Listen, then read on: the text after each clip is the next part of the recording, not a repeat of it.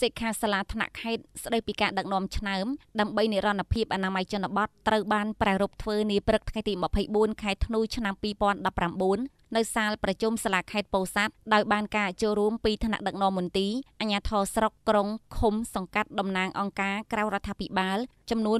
145នាក់ក្រោមអធិបតីភាពលោកអឹងគំលៀងអភិបាលរងនៃគណៈអភិបាលខេត្តពោធិ៍សាត់លោកស្រីឈឹមច័ន្ទសវណ្ណាតំណាងក្រសួងអភិវឌ្ឍជនបទបានលើកឡើងថាប្រជាពលរដ្ឋគ្រប់រូបនៅតាមសហគមន៍ជនបទត្រូវមានការផ្គត់ផ្គង់ទឹកស្អាតនិងអនាម័យគ្រប់គ្រាន់រស់នៅក្នុងបរិស្ថានដែលមានអនាម័យប្រកបដោយនិរន្តរភាពរាជរដ្ឋាភិបាលកម្ពុជាដែលមានក្រសួងអភិវឌ្ឍជនបទជាសេនាធិការបានដាក់ចេញនឹងបដិញ្ញាខ្ពស់ក្នុងការជំរុញលើការងារវិស័យទឹកស្អាតនិងអនាម័យឲ្យមានកំណើន90%ស្របតាមផែនការអភិវឌ្ឍខេត្តក្នុងឆ្នាំ2023និងឲ្យបាន100%នៅឆ្នាំ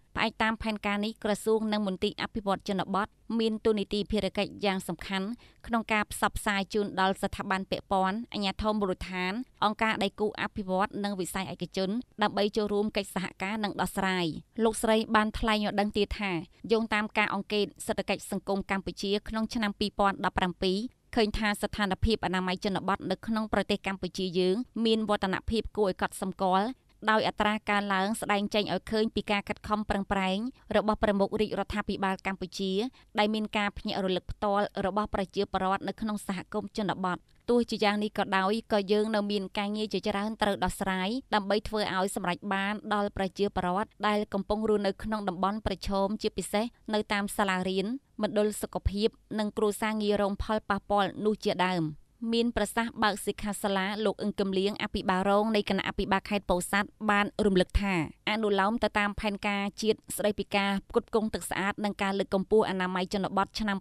2019និង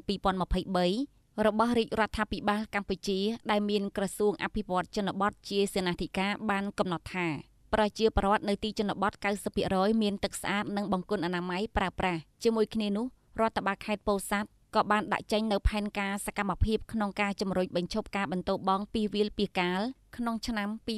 2025ផ្ដើមចេញពីនេះគប្បីផ្ដោតការយកចិត្តទុកដាក់ជាប្រចាំក្នុងការបន្តពង្រឹងគោលនយោបាយនិងយន្តការអនុវត្តដើម្បីឆ្ពោះទៅរកសមភាពយេនឌ័រនិងបរិយាបន្នសង្គមនៃការទទួលបានអនាម័យគ្រប់គ្រាន់និងស្មើភាពគ្នាសម្រាប់ប្រជាពលរដ្ឋគ្រប់គ្រប់រូប ជាមួយគ្នានោះត្រូវកែលម្អគុណភាពទឹកស្អាតកំណត់គោលដៅនិងសូចនាករដើម្បីឆ្លុះបញ្ចាំងពីលទ្ធផលគុណភាពបរិមាណនិងត្រូវមានហិរញ្ញប្បទានការបណ្ដុំបណ្ដាលការអប់រំនិងការគ្រប់គ្រងកាកសំណល់លាមកផងដែរ